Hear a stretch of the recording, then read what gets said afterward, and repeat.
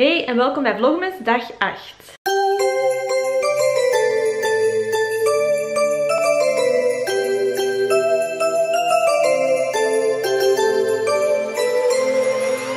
Ik heb Nico daarnet naar het station gedaan omdat hij naar Gent gaat voor een of andere lezing. En ik ben dus terug naar hier gekomen, maar niet voor lang. Ik ga mijn laptop en zo allemaal inpakken en naar mijn ouders gaan. Aangezien zij dichter bij het station wonen en ik moet hem deze middag al terug gaan ophalen. En anders zit ik hier toch maar alleen. Dus ik pak mijn laptop mee, ik pak mijn camera mee. En ik ga uh, vlogmas dag 5 monteren, want dat heb ik niet meer gedaan voordat ik naar Duitsland vertrok. En ik zou die heel graag vandaag nog online willen zetten. Dus dat is wat ik vandaag ga doen. Ik denk niet dat ik daar heel veel over ga filmen.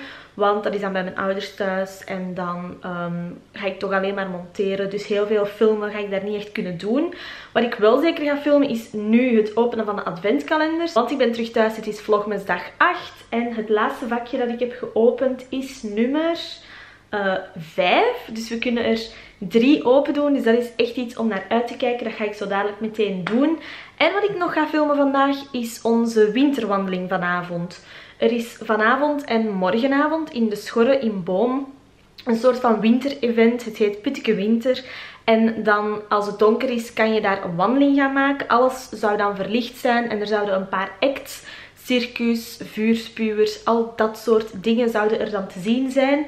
Ik heb het nog nooit gedaan, dus het is mijn allereerste keer dat ik die wandeling ga doen. Dat zal ik zeker filmen. Ik ben heel benieuwd of dat, dat zal meevallen. Laten we beginnen bij nummer 6. Oeh. Het is dus een exfolierende body scrub in de geur grapefruit. Een um, sample verpakking lijkt me, maar het ziet er toch naar uit dat ik er uh, één keer mijn lichaam mee zal kunnen scrubben. En als ik dan voel dat het iets goed is, kan ik hem in full size kopen. Heel benieuwd om deze te gaan testen. En dan kunnen we meteen overgaan naar vakje nummer 7. En dat is dit klein vierkantje hier. Volgens mij zal er zo'n klein potje uitkomen, maar dat zullen we meteen zien. Ja, zo'n klein potje. Eens kijken hoe gemakkelijk ik deze... Oh, gemakkelijk dus. Kiehl's Ultra Facial Cream. Een gezichtscrème lijkt me. Maar misschien staat er op de achterkant uh, meer informatie. Nee, het lijkt me dus gewoon een gezichtscrème. De Ultra Facial Cream. Zo, eens even openmaken. Oh, deze zit heel vast. Ziet er gewoon wit uit. En de geur... Oh, ruikt echt heerlijk naar een luxueuze gezichtscrème. De geur is echt fantastisch. En dan openen we meteen ook vakje nummer 8. Dit is echt heel leuk om het allemaal naar elkaar open te maken. Maar dat is dan ook maar eenmalig. Nummertje 8, wat ben jij? Ik heb er een hulpstuk bij gehaald, want die krijg je er niet echt zo uit. Eens kijken of dit gemakkelijker gaat. Ja hoor. Dit is de Calendula Herbal Extract Toner Alcohol Free voor normal to oily skin type. En dit is... Het lijkt me gewoon een tonic voor op het gezicht van de Calendula range. Daar heb ik denk ik al iets van. Ja, deze, de Deep Cleansing Foaming Face Wash. Dus volgens mij horen deze samen, maar ik ga zo dadelijk eens op de Kiehl's website bekijken wat dit net is. Het ziet er zo uit en als je ermee draait, ik weet niet of je het gaat kunnen zien, lijken er zo blaadjes in te zitten. Ik ga eens eventjes uh, de geur testen. Het ruikt een beetje naar apotheker. Dat vind ik niet erg. Ik vind dat een heel leuke geur. Uh, ruikt heel schoon, heel fris. Maar ik ga zo dadelijk eens op de website bekijken wat ik net wil zeggen en wat ik, waarvoor ik het beter gezegd echt zal moeten gebruiken. Ik ben weer heel blij met de verschillende producten die uit deze Kiehl's adventskalender komt. Echt, het is zo verscheiden. De productjes staan hier allemaal. Er zijn zoveel verschillende dingen en ik ben heel blij dat ik deze heb eh, gekregen. Dan gaan we nu over naar de NYX adventkalender en ik zal die een beetje beter positioneren. Laten we beginnen met luikje nummer 6. Oeh, dit is een NYX Butter Lipstick in de kleur Seashell en deze ziet er zo uit. Wauw, echt een babyroze kleurtje. Zoiets heb ik nog niet echt in mijn collectie. Dan gaan we terug naar het begin van de kalender en komen we bij nummertje 7. Dat is deze hier. Oeh, zoiets heb ik helemaal nog niet in mijn collectie. Wauw. Intense Butter Gloss. Ik denk dus dat het een lipgloss is in de kleur Berry Strudel. En deze ga ik zo meteen echt wel testen, want wat is dit voor een kleur? Oeh, kijk dit. Zoiets heb ik echt nog niet en die wil ik echt meteen gaan testen. Mijn vriend is niet van de felle kleurtjes, maar hij is er niet. Dus dat ga ik meteen testen. Wauw. Maar eerst ga ik natuurlijk nog eens kijken wat er in vakje nummer 8 zit. En die staat gewoon naast nummer 7. Let's open you up. Nummertje 8 is terug een glosje.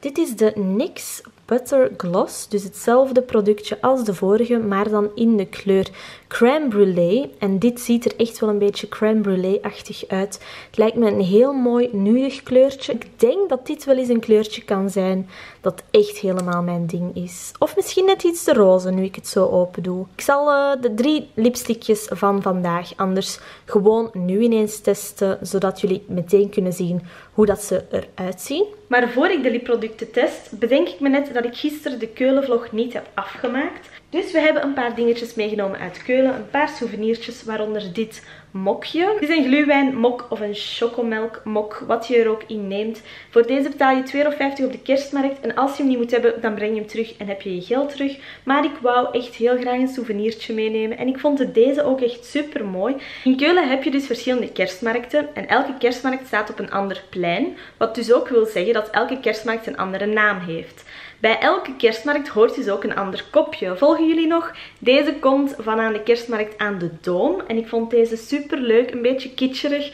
Maar elke keer als ik hier iets uit zal drinken, zal ik denken aan ons reisje naar Fantasialand en naar Keulen, een ehm, bezoekje aan de kerstmarkt. Dus deze vind ik heel leuk om in de collectie te hebben. En de binnenkant heeft ook zo van die kaarsjes, dus super leuk. Er staat ook kerstmarkt 2017 op. Dus we zullen altijd kunnen terugdenken aan de leuke kerstmarkt. Ik heb dus vanuit de speelgoedwinkel deze Monchichi meegebracht. Het is een roze met van die bloemetjes in het haar. En um, Monchichis, dat is eigenlijk iets dat in onze familie eigenlijk een beetje leeft zal ik maar zeggen. Mijn broertje heeft er, wij hebben er gehad. En ja, ik weet het niet. Ik weet niet of dit in elke familie zo'n dingetje is, maar bij ons zijn het monchichis. En deze had ik nog nooit gezien. Die heeft ook blauwe oogjes. Alleen de andere monchichis hebben eigenlijk bruine oogjes. Het is ook een echte. Ah, ik vind het super leuk. Ik kon deze echt niet laten liggen. Toen ik die in de winkel zag, dacht ik, ja, dat is iets voor mij. Ik neem hem gewoon mee. Dan zijn we ook bij Primark geweest. Daar heb ik niet zoveel gevonden, echt. En ik ga waarschijnlijk morgen of volgende week met mijn moeder naar de Primark in Luik. Dus ik heb me hier niet echt laten gaan. Dat kan ik dan wel doen.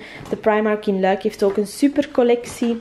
Dus ehm, ik heb er twee dingetjes gekocht. Eerst en vooral deze pantoffels, slippers met regenboogjes in het roze. Ik had voor thuis nog geen um, winterpantoffels. En dat heb ik nu dus wel. Deze waren 5 euro en ze zien er echt super schattig uit. Ik ga deze meteen aandoen. En dan heb ik ook nog een trui gekocht en ik zal eens even bekijken hoe ik deze kan gaan leggen zodat je hem kan zien, is een zwarte crop trui. Hij is hier niet echt afgewerkt, dus na verloop van tijd gaat hij zo omhoog beginnen rollen. Maar het leukste detail is dus aan de mouwen, waar dat hij zo'n frengeltjes heeft met stuts, zo helemaal op de mouw. En dat zag er eigenlijk heel leuk uit. Deze was 13 euro, dus die heb ik gewoon meegenomen. En dan het allerlaatste dat ik heb gekregen van mijn vriend van op de kerstmarkt is dit hangertje. Dit is dan het hangertje. Het is een rose gold hart met een soort van pareltje in dat geluid maakt. Maar ik denk dat ik de parel er zal uithalen. Want ik denk dat het me meer gaat storen dan dat ik het leuk ga vinden dat ik dit de hele tijd moet horen. Deze heb ik van mijn vriend gekregen en die ga ik waarschijnlijk aan mijn huidige ketting bijhangen. En zoals ik daarnet zei, ging ik de verschillende NYX Advents cadeautjes testen. Dit is de Butter Lipstick in de kleur Seashell uit vakje nummer 6. En dit is echt niet mijn ding. Misschien als ik bruiner zie in de zomer, maar ik weet het echt niet. Dit is dag nummer 7, de Intense Butter Gloss in de kleur Berry Strudel. En oh my god, serieus, hoe leuk is deze kleur? En dit is dan hoe de laatste kleur, dag 8, Butter Gloss in de kleur crème brûlée eruit ziet. Dit is echt gewoon een semi-transparant glosje. Ik denk dat deze heel mooi zal staan op een andere lipstick, want zo zie hier niet echt veel van. Het is een beetje mijn kleur, maar met een glosje erop. Terwijl het in de verpakking er wel wat roziger uitziet. Maar op mijn gewone lipkleur zie je het dus niet echt. Dus daarom dat ik denk dat dit kleurtje echt heel mooi zal staan op een andere lipkleur. En dat was het dan voor nu. Ik heb de adventkalenders geopend. Ik heb laten zien wat ik in Keulen heb gekocht. Het enige dat ik dan nu nog moet doen is mijn laptop pakken, mijn camera meenemen, de auto nemen en naar mijn ouders gaan waar ik zal gaan editen tot wanneer Nico terug is. En ik hem kan gaan ophalen aan het station. Ik heb geen idee wanneer hij zal terug zijn. En met de trein in België weet je natuurlijk ook nooit. Er kan altijd een vertraging zijn of iets dat plots gebeurt. Hoe dan ook, ik ga tot dan editen. Uh, wat ze daarna gaan doen, dat weet ik niet heel zeker. Dat zullen jullie misschien in de vlog nog zien. Wat we zeker gaan doen is winterwandeling. Dus daarvan zullen er zeker beelden zijn. We zijn aangekomen in de Schorre in Boom. Helemaal klaar voor onze avond winterwandeling. Ik denk dat ik warm genoeg aangekleed ben.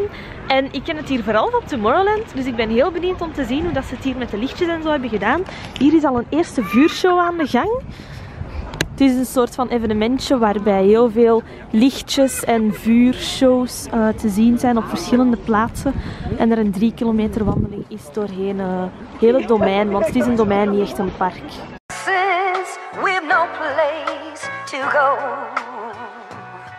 Let it snow, let it snow,